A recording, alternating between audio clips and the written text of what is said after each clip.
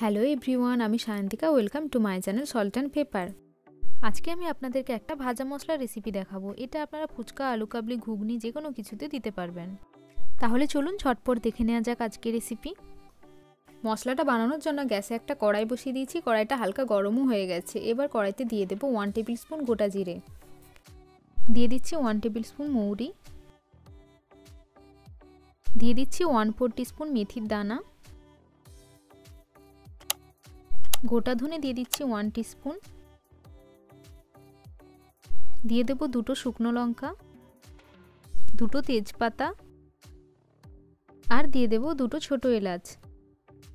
একদম লো হিটে এগুলোকে এবার ভেজে নেব।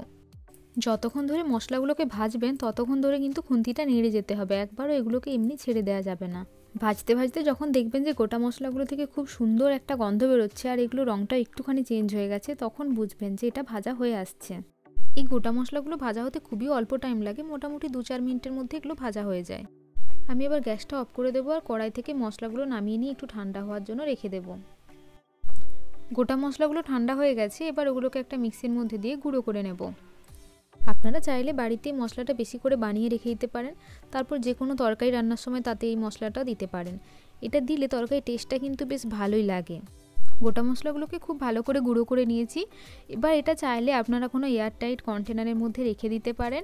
তারপর সেটা বিভিন্ন রান্নাতে ব্যবহার করতে পারেন। আপনারা চাইলে ফুচকা আলু কাবলি ঘুগনি যে কোনো কিছুতে এটা ব্যবহার করতে পারেন। আর আমার চ্যানেলে যে আলু কাবলি রেসিপি আছে, সেটাতে আমি এই ভাজা মশলাটাই ব্যবহার করেছিলাম। এটা ব্যবহার করে আলু কাবলির টেস্ট কিন্তু বেশ ভালোই হয়েছিল। এই ভাজা মশলার রেসিপি যদি আপনাদের ভালো লেগে থাকে, তাহলে ভিডিওটিতে লাইক শেয়ার ও কমেন্ট করবেন। আর আমার চ্যানেলটিকে সাবস্ক্রাইব করতে ভুলবেন না। Thank you